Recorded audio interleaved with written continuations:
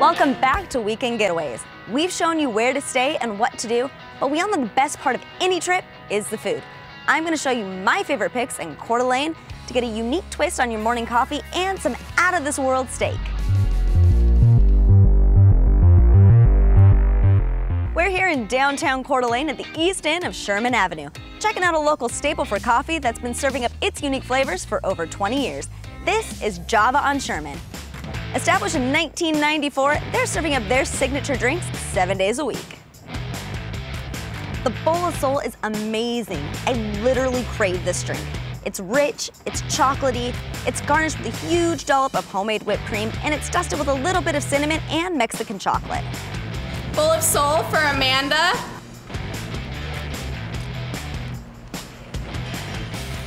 Oh my god.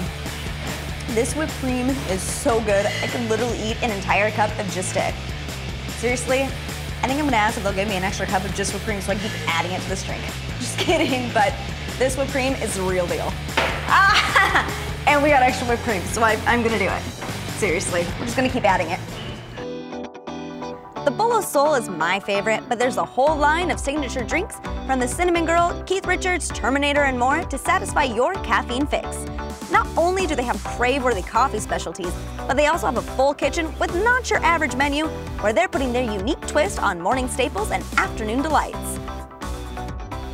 Java has been a local staple for over 20 years. It's definitely a must-hit spot in Coeur d'Alene, and trust me, you'll be craving a bowl of soul too. For a taste of the Old West, I'm going to take you to the edge of Coeur d'Alene, where they cook everything over real wood and an open pit at Wolf Lodge.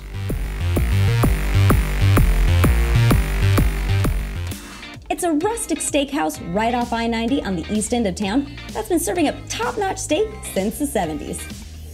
What separates this steakhouse from the rest starts with the staff. They literally split all the tamarack and birch wood they cook with. They're not messing around. The food is cooked in front of the customers at the pits over an open flame. There's no smoke and mirrors here, it's just real food over real fire.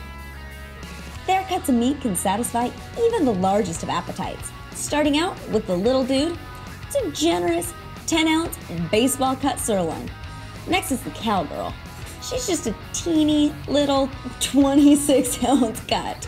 And their signature steak is the 16 ounce ribeye, known as a cut off the prime, and it's notorious for its flavor.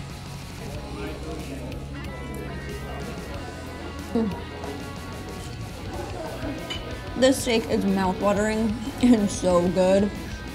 I'm gonna eat this whole thing. Mm.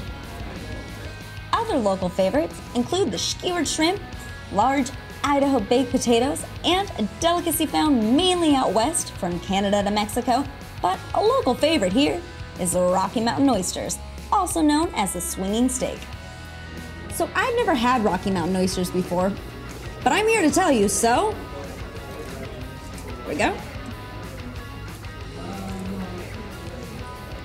Mmm. You know, I wasn't sure what I was gonna think. These are actually really good. I'm really impressed. There's a full menu of items that make Wolf Lodge stand out, along with a full bar to quench your thirst. Wolf Lodge lives up to the legend, and it's a taste of the Old West. Easy to see why it's rated the best steakhouse in Idaho. If you're in the mood for steak, this is your destination. We'll be right back with Weekend Getaways.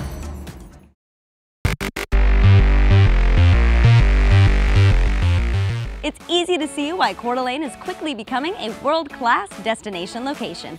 From the lakefront access to the endless outdoor activities, it's attractive for all ages. I found there's a little bit of something for everyone, from my morning coffee to start my adventure, or winding down with family and friends in the evening.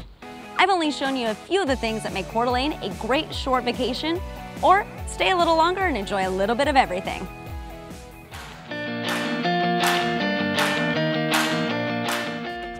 That's all for this trip, but there are plenty of stops along the way. Weekend Getaways will take you with us as we explore the best places to pack in some fun in just a few days. Showing you some great ideas of where to stay, what to do, and where to eat. We'll see you next time on Weekend Getaways.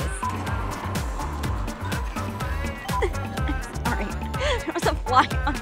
I'm sorry. Okay, one more time.